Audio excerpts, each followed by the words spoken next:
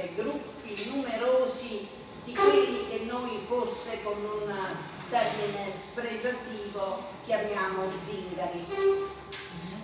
E lì conducevano una vita autonoma, cioè non all'interno della comunità poema, ma eh, indipendente, vivevano a modo loro, eh, e però erano anche in un certo senso rispettati e accettati dalla popolazione. Poi accade qualcosa che purtroppo le crisi economiche rincorrono la storia dell'umanità da sempre e forse per sempre. Per cui in Boemia ci fu una notevole crisi per cui i bohemian, gli zingari, cominciarono a spostarsi verso l'Europa del Sud e soprattutto si fermarono in Francia.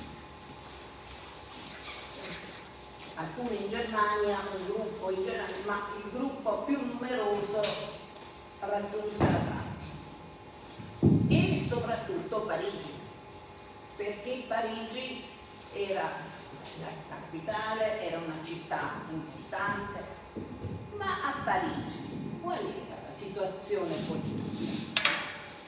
Dobbiamo, per capire, tenere presenti alcune date, alcune date che sono 1830, 1848, 1850, 52. Perché queste date?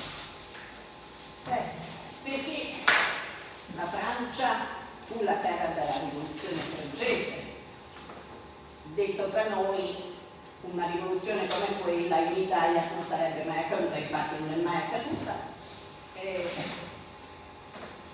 poi purtroppo ai concetti di libertà, fratellanza e uguaglianza subentrò la ghigliottina con tutti i danni che essa portò con sé e successivamente arrivò Napoleone per cui la Francia veniva da una storia complicata non certamente facilitata da Napoleone, perché sì, certo, lui teniamo a fronte al massimo fattore, però sconquassò l'Europa, eh, eh, pretendendo di sottomettere alla Francia, in parte vi riuscì, tanta parte dell'Europa. Non a caso la seconda moglie di Napoleone era Maria Luisa d'Austria, che era la, la figlia dell'imperatrice.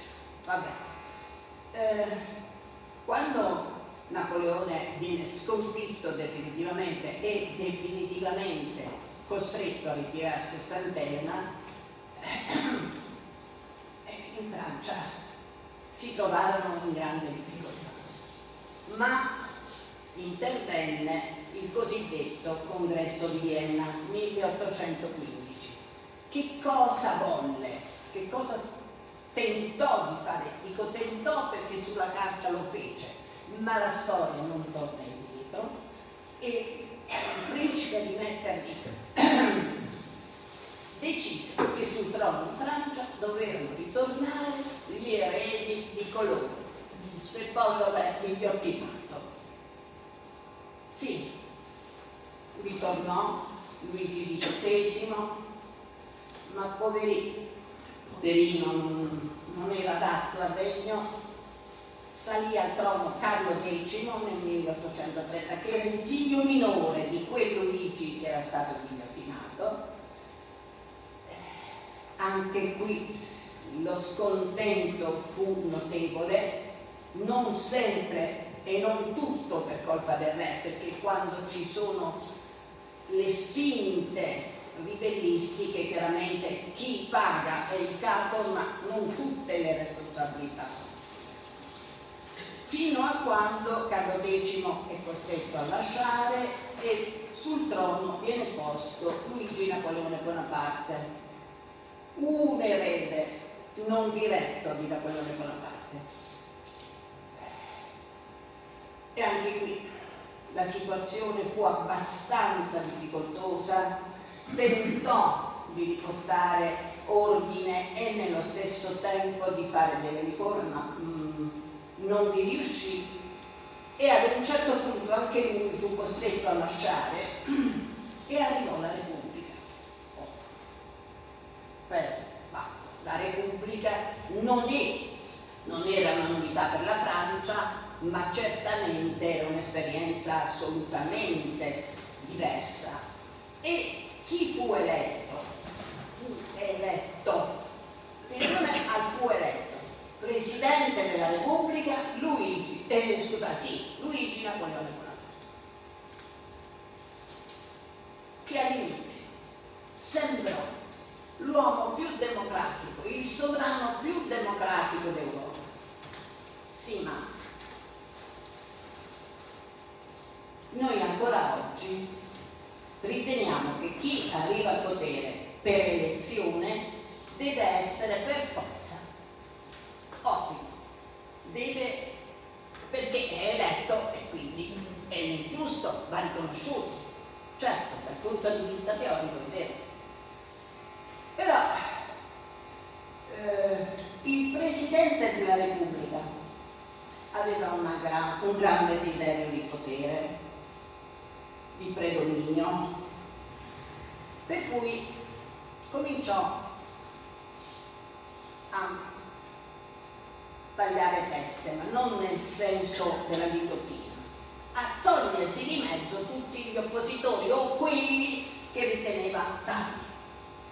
E sapete, quando cadono le teste, ghigliottina o no, beh certo la ghigliottina la eviterei decisamente, ma ma anche dal punto di vista metaforico non è mai un bene, perché ci troviamo e ci siamo trovati sempre di fronte ad un capo autoritario, chiaramente che, che vuole essere autoritario. Per cui, infatti, il grande Presidente della Repubblica a un certo punto disse, ma, ma io la Repubblica ma io faccio un colpo di Stato e mi proclamo imperatore dei francesi. Si circondò dei fedelissimi, perché con tutti i capi ereditari e i capi autoritari hanno i fedelissimi, questo è nella norma, da sempre e per sempre. E si proclama imperatore dei francesi fu sconfitto solo parecchi anni dopo con la battaglia di Sedan, se non mi ricordo male, e perciò la Francia ha vissuto un periodo veramente difficile sia dal punto di vista economico sia dal punto di vista politico. All'Italia tornerò, ma vi dico solo, solo subito e l'Italia è sempre lenta, va indietro, anche perché nel 1830 e persino nel 1852 l'Italia non era stata unita, l'unità d'Italia ci fu nel 61, qui l'Italia era ancora divisa in tanti stati. Che potevano fare? Eh, in Francia arrivarono i Bohemian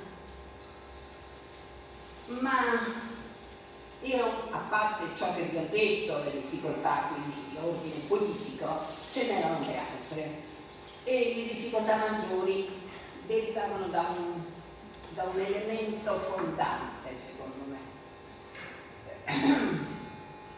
Molti di voi ricorderanno che alla fine del periodo diciamo così, romantico, non romantico nel senso di tenerezza, ma filosofico letterario, eh, si impose in Europa la rivoluzione industriale, in Francia in special modo, perché in Francia la rivoluzione industriale si affermò fortissima, basta ricordare Émile Zola con i suoi romanzi. Ma anche questo successo in un primo tempo notevole della, dire, de, del progresso di scienza, delle scienze la tecnica durò poco, si insinuò nell'animo soprattutto dei più giovani uno scontento generale, soprattutto da parte di chi, anche questa è una costante storica, cioè da parte dei figli dei ricchi, che stanchi degli agi, dei, eh, dire, de, della vita bella che conducevano in famiglia, decisero di ribellarsi. Oh, finalmente non se ne può più, l'aria soffocante, io voglio fare una, una vita diversa. E si radunavano eh, sulla riva del, sulle rive della Senna, imitarono la vita dei poemiani, degli zingari. Ora, riguardo a questo fenomeno, bisogna dire che è stato per molti versi sottovalutato, cioè lo si è visto quasi, sì come una ribellione, ma quasi come un fenomeno passeggero di costume.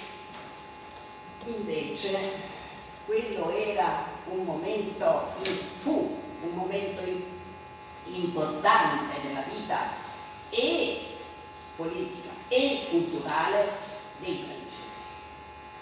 Eh, ma noi non sapremmo quasi niente dei Bohemian se non fosse stato scritto questo librettino che è intitolato Scene di Bohème scritto da Henri Murger che è lo stesso autore a cui si rifaranno i librettisti di Puccini, cioè Indica e Giacosa, che si ispirano, rivedono, eh, rimpastano questo librettino, che io mi sono divertita a leggere ed è bellissimo, nel senso, perché bellissimo?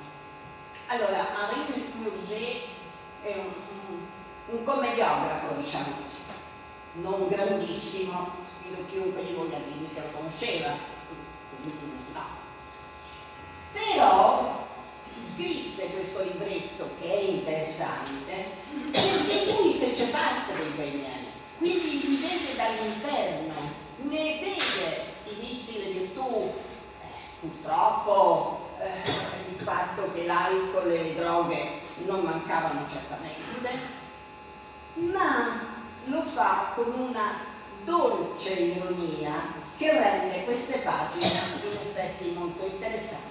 E pensate, di, questa, di questo libretto c'è una sola traduzione in Italia fatta da Alfredo Panzini, poi più, mai più è stata ristampata. Perché? Perché evidentemente non interessavano più, poi dopo in Europa ci saranno le governi autoritari, del nazismo, fascismo, quindi figurati bohemienne, per carità. Però ho detto che si ispirarono i librettisti di Puccini, Illica e Giacosa. Illica e Giacosa erano due personaggi importanti, come geografi anche loro. Puccini aveva un caratteraccio, dicono, indica pure, per cui indicano sempre, mentre dovevano mettere a punto diciamo, il testo di, eh, della poema il povero Giacosa doveva, doveva cercare un equilibrio, doveva cercare pace tra i due. In effetti ci riuscì perché eh, la poema di Puccini è secondo me un vero capolavoro musicale e di testo, ma Siccome intendo farvi sentire un pochino del primo atto di... Prima vi leggo alcuni passaggi, pochissimi perché il tempo che abbiamo, voi lo sapete, è sempre molto poco d'altra parte. Ma, allora, i personaggi che noi conosciamo probabilmente dalla poema, Sonar, Marcello, Rodolfo, Mimì, Musetta. Ci sono in questo testo, ma i ruoli sono un po' cambiati e soprattutto chi di voi ricorda l'inizio di Bohème, che cosa ricorda? Ricorda una soffitta fredda con dei giovani che vivevano già insieme, vero?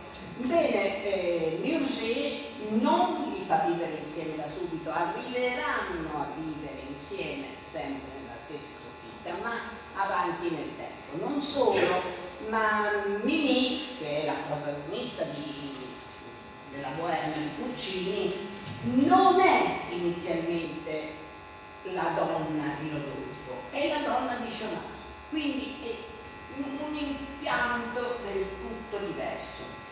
Ma vi leggo perché è divertente.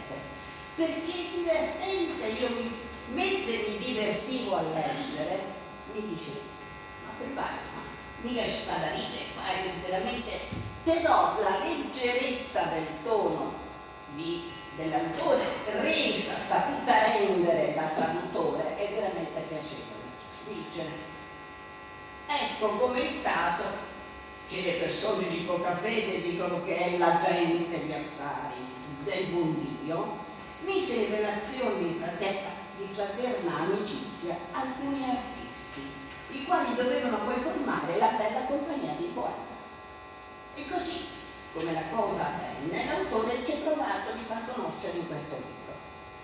Fu dunque, seguite il tono favoristico, una mattina dell'8 aprile che Alessandro Sciomar, pittore e musico insieme, fu bruscamente svegliato dal chicchirichi di un gallo che gli serviva dall'orologio. Il gallo gli serve dall'orologio. Per Dio santo! esclamò Sciomar. Il mio orologio con le penne va avanti. Non è possibile che in quest'ora oggi sia già oggi. Sentite il tono veramente leggero. Eh, e così dicendo balzò fuori da un getto mobile di sua speciale invenzione che di notte gli seguiva da letto e di giorno adempiva l'ufficio di tutti gli altri mobili che non c'erano. E non c'erano perché l'inverno precedente era stato molto freddo ed essi se ne erano andati al Monte di Pietà. Quindi quell'unico mobile c'era che gli serviva per tutti gli usi. Voglio dire, la situazione triste, riprendo la mia considerazione di poco fa, ma in effetti è leggerissimamente portata con l'ironia, ci fa sorridere. Dovendo compiere così svariati doveri, non è un offendere quel povero mobile dicendo che come letto valeva poco, e eh beh, certo, Siccome ispirava una brezzolina tutt'altro che primaverile, così Schonar si coprì con una sottana di seta rosa cosparsa di stelle che faceva le funzioni di veste da camera. Immaginate la, sottana di seta rosa, che, che, calore poteva portare al povero Alessandro Schonar. e poi, a quel punto, un campanile vicino le cinque. È un'aurora in persona, mormorò Schumann. Ciò mi stupisce perché qui esiste un errore, in quanto che la scienza, che consultava un calendario inchiodato sul muro, la scienza afferma che l'8 aprile il sole si alza alle 5 e mezzo. Sono le 5 appena, eh, insomma, ma che sto sole manco ubbidisce alla scienza? Eh, Signor Sole, lei è già in piedi a quest'ora?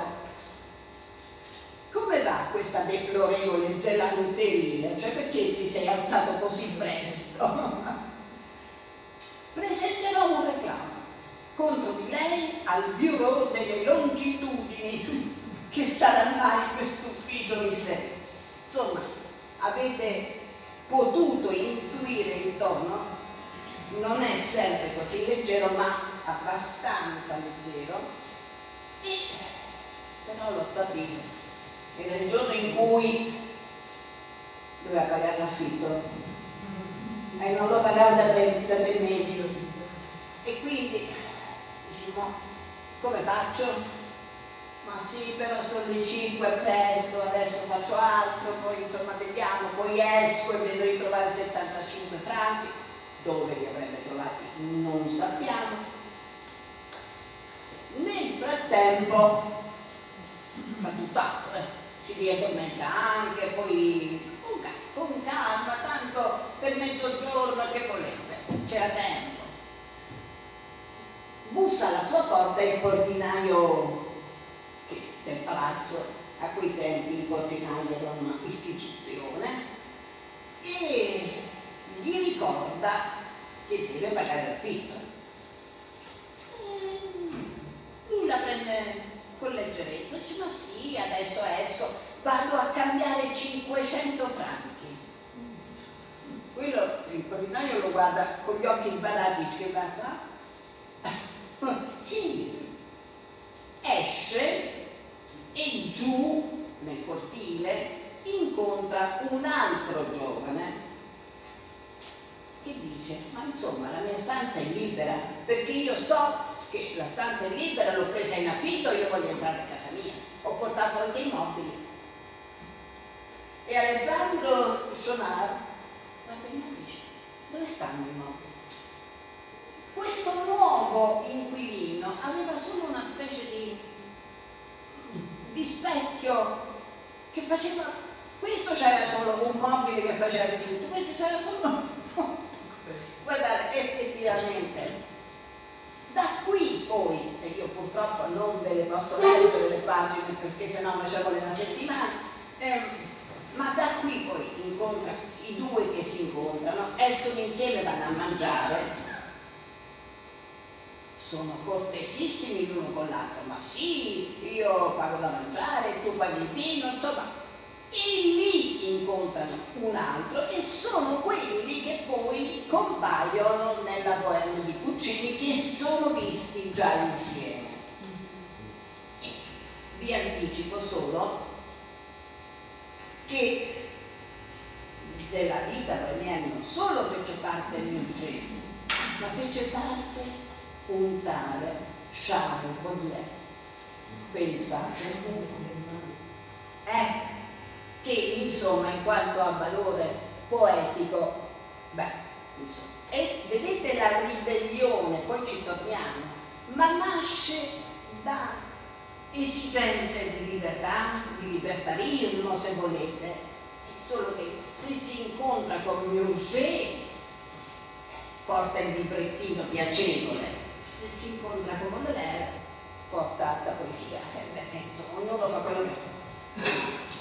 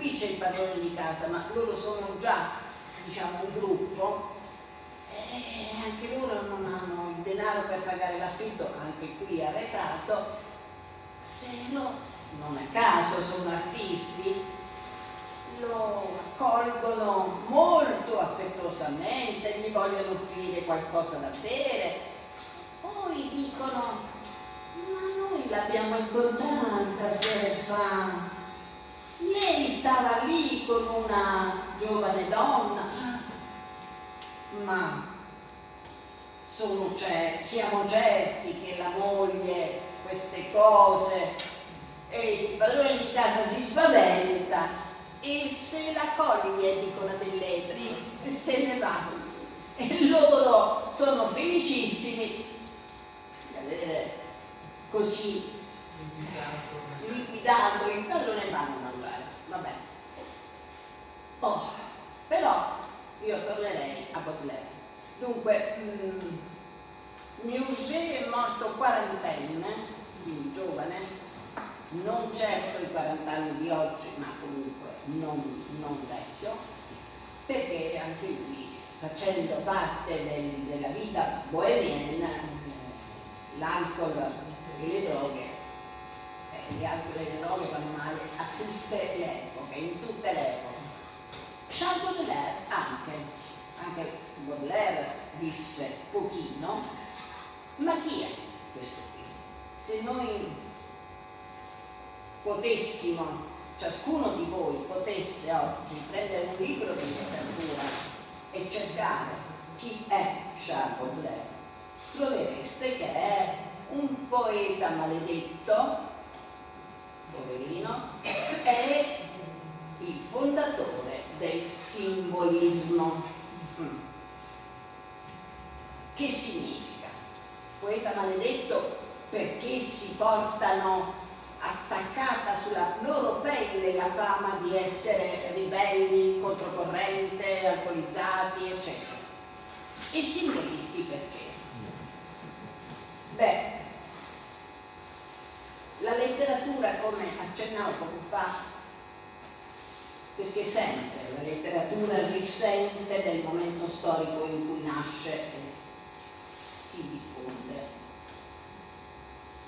Eh, in questo momento la letteratura ha un momento di impasse perché, come dicevo, il romanticismo si è esaurito, ha perso la carica originaria, mm, si è affermata una letteratura, si sta per affermare una letteratura rinnovata, interessata agli aspetti sociali, eh, industriali, eccetera, ma è, vive un momento di, di, di attesa. In questo momento, dunque, tenete conto che L'opera più importante di Charles Baudelaire, Le Fleurs du Mal, I fiori del male, sono, appartengono, sono stati scritti nel 1857.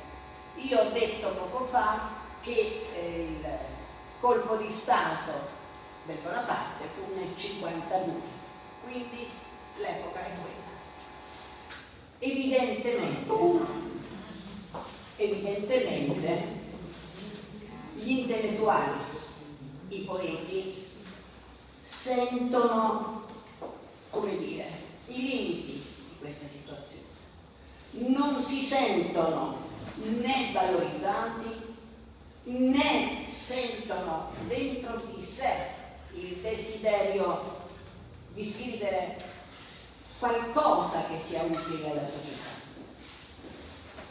anzi notano, si rendono conto perfettamente che il poeta perso, il poeta romantico era il poeta parte, colui che cantava le glorie possibili della nazione. Ora il poeta non è più nessuno. Allora i poeti sentono il bisogno di andare oltre. Noi due anni fa, mi pare, abbiamo fatto un corso in cui io ho cercato di spiegare i diversi significati di andare oltre, che non è soltanto un oltre trascendente, è anche un oltre immanente, un oltre innanzitutto contro i limiti, le consuetudini ritenute asfittiche.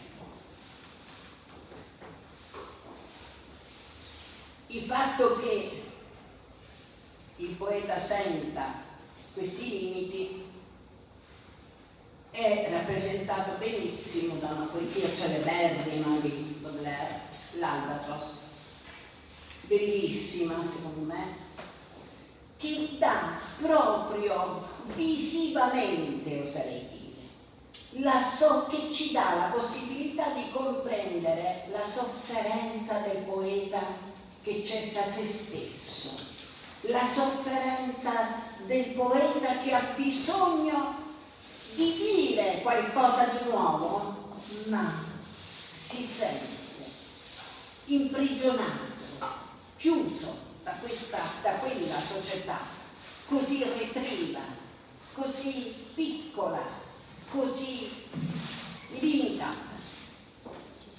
Uh, voi sapete che l'albatros è un grande uccello marino dalle grandi ali che mh, aveva l'abitudine, la consuetudine, mi corretto, di seguire le navi e talora si fermava, forse per riposarsi, sulle tonde delle navi.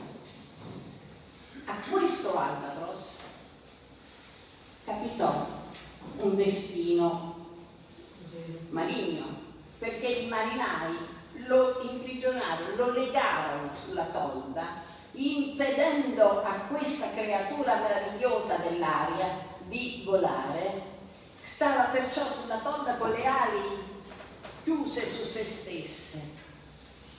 È l'immagine del poeta che non ha più la libertà di volare alto, che non ha più la missione, da, una missione da cercare da seguire, ma sentire io sono sempre stata contraria a leggere molto perché non si può in una situazione come la nostra, ma questo ve lo devo leggere perché è troppo bello. Non esagererò, giuro, perché l'albatros è lungo, ma eh, vabbè. Per dilettarsi, sovente, le ciurme catturano degli albatri, degli albatri, marini grandi uccelli che seguono indolenti compagni di viaggio il bastimento che scivolando va su amari abissi.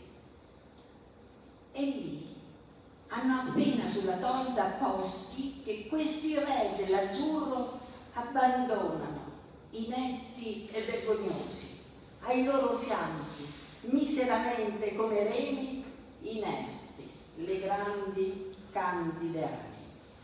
Come goffo e imbelle questo alato viaggiatore. Lui poco fa sì bello come è brutto e comico. Qualcuno con la pipa il becco qui gli stuzzica, là un altro l'infermo che volava zoppicando, scimmieggia. Guardate che, che quadro spettacolare ha dato del poeta della poesia, forse della vita.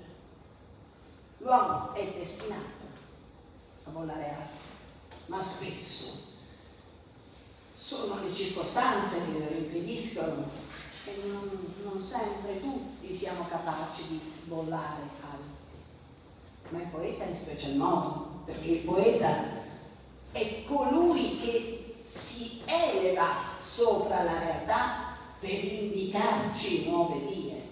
Il grande poeta naturalmente, non i poeti che cui siamo abituati da loro, dice ah io scrivo poesie, no, eh, i grandi poeti. Questa immagine, spero vi sia piaciuta, rende veramente l'idea di una sofferenza profonda, di una consapevolezza che andare oltre è adesso impossibile, ma ovviamente, naturalmente, c'è comunque la ricerca di qualche cosa che liberi le grandi ali di questo magnifico uccello, lo faccia tornare a volare alto nel cielo, quasi che potesse in tal modo segnare una nuova strada. Già.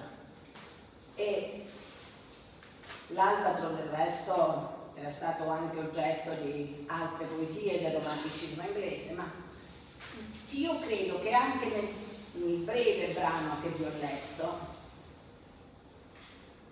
ci sono degli elementi che ci fanno comprendere meglio che cosa volesse dire il poeta. Eh, l'albatro è avvezzo alle tempeste, è l'animale, l'uccello che cerca la libertà alta nei cieli, che adesso è caduto, imprigionato sulla mano stuzzicato malvagiamente, malignamente dai marinai, che rappresentano, se consentite tutti noi, che non comprendiamo, i messaggi alti che spesso arrivano fino a noi e noi non, non li comprendiamo, non siamo capaci di comprendere. Ehm, per cui c'è un messaggio profondo in questi versi che sono bellissimi. Adesso ve ne leggo un pezzettino. Come il principe dei membri è il poeta, che avvezzo alla tempesta si ride dell'arciere, ma esiliato sulla terra, fra schermi, camminare non può per le sue ali di gigante. Quindi il poeta è il gigante che non riesce più a camminare perché non è compreso anzi peggio, glielo impedisco. E se questa non è rivoluzione, dite cos'è? Re... Scusate, non rivoluzione, ma ribellione. La ribellione ad uno Stato sociale che, certo, i poeti sentono con più forza, con più, sentono con più capacità, ma che doveva riguardare tutti, perché anche noi che siamo poeti, non siamo intellettuali, siamo personcine normali, magari personcine per bene. Non, non è vero che se non sentiamo nulla dei limiti che la realtà ci impone, li sentiamo, ma non, siamo, non siamo capaci di superarli e spesso purtroppo non siamo capaci di ascoltare chi sa cantare, parlare. Um, questo Baudelaire adesso parla di spleen. Lo spleen è la noia, ma la noia non è quella nostra, dire noia, non so che fa oggi, no, non è quella. La noia è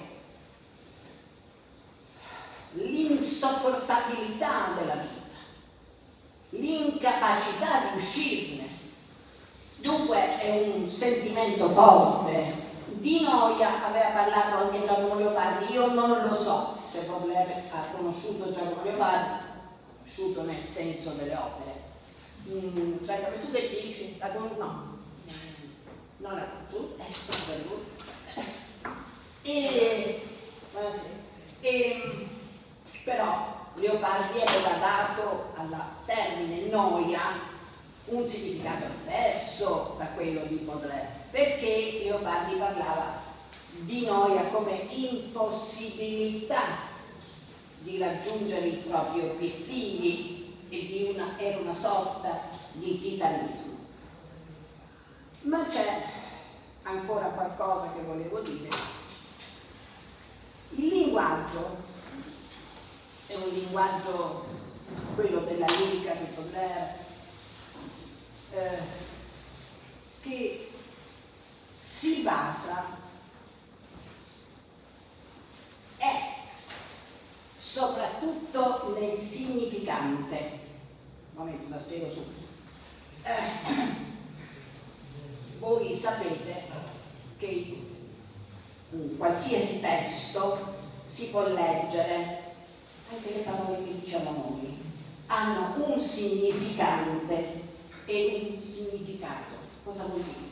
Il significante è il suono.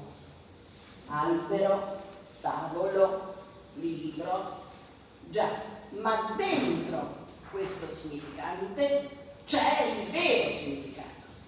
Perché dico libro? Che cosa voglio dire facendo riferimento a quel libro? A un libro qualunque va bene tutto? No. Dunque, però, e questa è una grande novità, appunto partire dal suono della parola per arrivare a farne un simbolo che va oltre il suono stesso. Vi prego di dirmi se non avete capito perché insomma, non è proprio facilissimo da spiegare. Eh, si è capito qualcosa? Sì? Siete bravi? eh, quindi dal suono a qualche cosa di più, che va oltre il suono. Ma d'altra parte, amici miei, ma quando noi parliamo di qualunque cosa, anche quando diciamo eh, ci fa freddo, uh, questo tempo proprio, certo, il suono è quello, TMPO, eh già, ma che vogliamo dire? A che cosa vogliamo arrivare? Che cosa vogliamo rivelare o che cosa vogliamo discutere, vogliamo nascondere? Questo accompagna il significante, questo è il significato. D'altronde se no diremmo vocali e consonanti insieme. A che punto? Eh? E poi penserete che io sono matta, ma non so io però, io sto cercando di dare concetti non proprio semplicissimi, un volto familiare. Beh, e c'è un'altra cosa. Il ritmo sintattico. E che cos'è ritmo sintattico?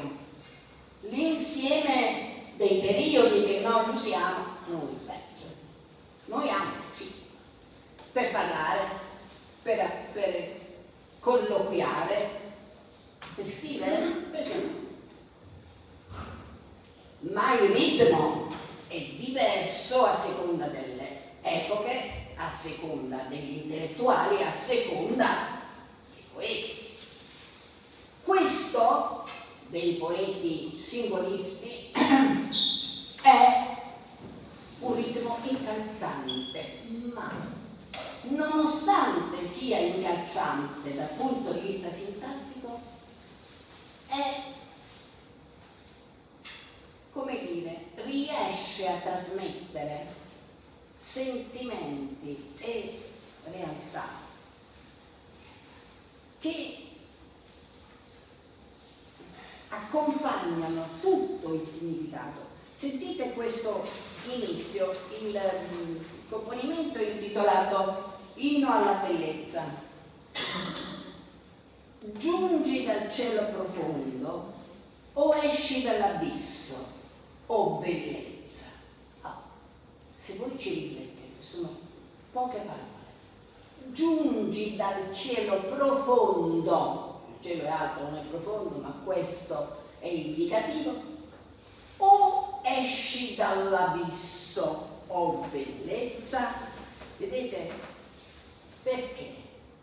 Ma perché dicendo solo queste parole, scrivendo solo queste parole, il poeta sta esprimendo il suo stato d'animo che cerca la bellezza e si chiede, ma la bellezza mi arriva da un, da un cielo profondo, qui la profondità è simbolo di irraggiungibile, un cielo irraggiungibile o invece da qualcosa che è lontano, al contrario, che sta giù nell'abisso, tu bellezza come mi puoi arrivare?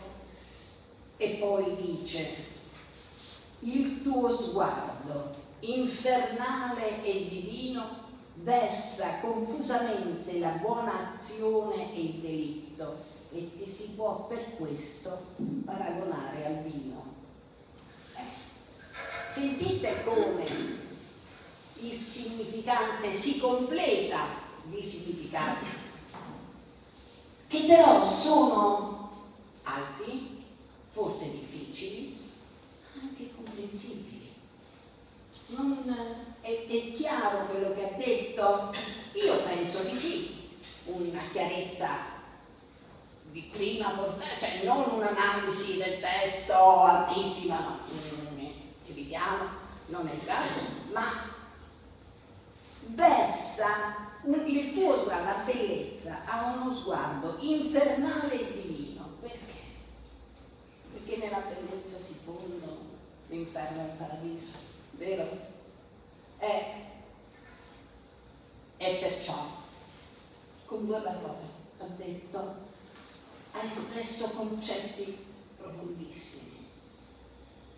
Versa confusamente la buona azione e il delitto, così come c'è l'inferno e il vino, c'è la, la bellezza e il delitto. Tanto che si può paragonare al vino, si capisce che faccia parte dei miei, eh? perché al vino era legato. Ma io credo che ci debba beh, ci debba, ci dovrebbe essere sufficiente questo pochissimo che vi ho detto. Non pretendo di avere spiegato Baudelaire, né potrei farlo, perché ci vorrebbero ben altre situazioni e ben altro tempo, ma penso che vi ha, spero che vi abbia potuto trasmettere, saputo trasmettere questo nuovo elemento della questo nuovo poeta che è spleen, noia e bellezza, che è elevazione e divinità e inferno, che è ricerca continua di un oltre, di un rinnovamento, di qualche cosa che superi le strettoie della società. Eh, anche Baudelaire diceva è molto giovane, ma insomma ha fatto in tempo a scrivere, per fortuna dico io. E in Italia che succede? Vabbè, come dicevo prima, l'Italia è sempre un po' indietro. Mi spiace come italiana doverlo dire, doverlo ammettere, ma la Francia è sempre stata avanti dal punto di vista culturale, anche politico. Eh, le rivoluzioni, appunto, in, Italia vanno io all'una vado a pranzo per piacere, non so altro. È vero ragazzi, è vero. Ma eh, la rivoluzione scomoda, vai a fare le manifestazioni, ma chi si è? se va? Eh, vabbè. eh, io rido perché rido di me soprattutto, ma perché ridendo nessuno ci vieta di dire la verità. Beh, l'Italia è un po' negli anni 50, ripeto, non c'era l'unità d'Italia, assolutamente, che si navigava tra piccole sommosse della giovane Italia, da Mazzini, che ancora era lontana, pensate, la, spedizione dei mille, pensa un po', pensate un po' quanto noi stiamo indietro. E beh, e però noi abbiamo avuto Manzoni, eh? eh nel bene e nel male. Manzoni è, come dire, la misura della letteratura italiana. Colui che ha scritto in prosa, che in Italia scrivere in prosa mm, non era così facile. ha determinato i caratteri della cultura, del racconto, del romanzo, oh, il primo grande romanzo della letteratura italiana, qual è? I Promessi Sposi. L'abbiamo letti tutti, li leggono ancora i nostri figli, nipoti, eccetera, eccetera. Sono bellissimi, ma sono quelli. Oltre, quando andiamo? Eh, sì, però gli italiani appunto tradizionalisti, classicisti, soprattutto classicisti, non possono fare il balzo che ha fatto Baudelaire. Assolutamente no, non, non ce l'abbiamo. Però qualcosa c'è stato. Cioè, la scapigliatura, la cosiddetta scapigliatura milanese. Eh, anche qua, i milanesi però non è vero che fu solo milanese, fu anche piemontese, per esempio. Toccò, diciamo, la scapigliatura toccò mm, l'Italia settentrionale, al sud ma non fa niente. Perché? Oggi mi sto divertendo. Scapigliatura. Che vuol dire scapigliatura? uno è scapigliato, è spettinato, è disordinato, no, è ribelle, no? Eh, uno che è scapigliato, beh, sarebbe bello. Vabbè, dottor Vito. Eh, oh, il gatto... Ma non è scapigliato. No, no. no, no. Ma lascialo stare. La scapigliatura, anche la scapigliatura, la scapigliatura italiana, milanese se volete, è un, movimento, un movimentino, sia perché non ebbe carattere nazionale, sia perché rispetto ai poeti maledetti non si può fare un confronto. Però qualcosa c'è su. Ma sapete chi furono i poeti della scagliatura? Cletto Arrighi, Arrigo Boito. Eh, Arrigo Boito fu anche musicista e quindi, vedete, c'è un tentativo di miglioramento, di superamento della tradizione, eh, tentativo che si espresse nei contenuti più che nel linguaggio, mentre Baudelaire prima il linguaggio e poi il contenuto, ovviamente, in un'armonia perfetta, qui c'è eh, un contenuto nuovo, boh, forse nuovo, un contenuto che sa di morte, continuamente.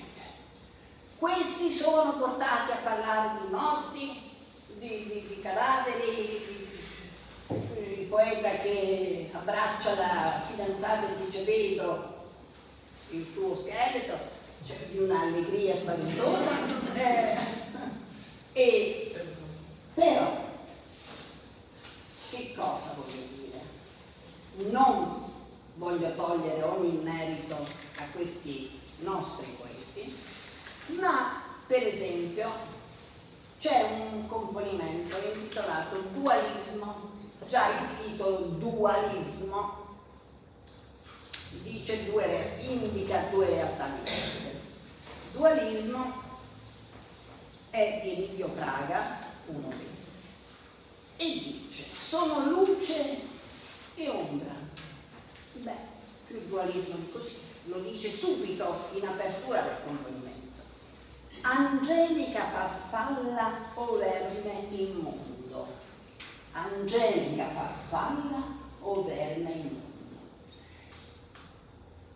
Beh, parti gli scherzi, la mia ironia sulla letteratura italiana non grande come quella francese, ma eh, qui c'è qualcosa che tormenta l'animo di questi poeti.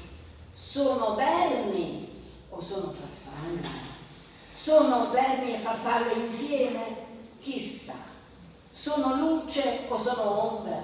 Sono luce e sono ombra. E se ci riflettiamo anche solo un po', senza necessariamente scendere in discorsi troppo impegnativi, eh, costituiscono una grande novità, perché mai più avremmo pensato a un poeta del romanticismo italiano, ammesso che il romanticismo ci sia stato in Italia, cosa che io non ho mai creduto, ma eh, arrivare a dire sono luce e ombra, verme o farfalla, è un rinnovamento, è qualche cosa che lentamente, pudicamente si sta muovendo. Non ha la forza rivoluzionaria di Baudelaire o di Rimbaud, di Mallarmé, di Verlaine, che purtroppo non mi posso leggere, ma c'è un germe di novità. Ecco perché nelle intime cogitazioni, sentite il classicismo cogitazioni, eh, nelle mie intime riflessioni io sento la bestemmia dell'angelo che ride al suo tormento o l'umile orazione dell'esule timone che viene a Dio fedele, questo dualismo, o l'angelo ribelle, cioè Satana, o l'angelo che torna verso Dio. Bene, chiacchierata abbastanza. Ehm, eh, adesso, sperando... Abbiamo chiuso, eh? Chiudiamo. Ah, chiudiamo così. Cinque minuti. No, io... 10 minuti o 40 Right.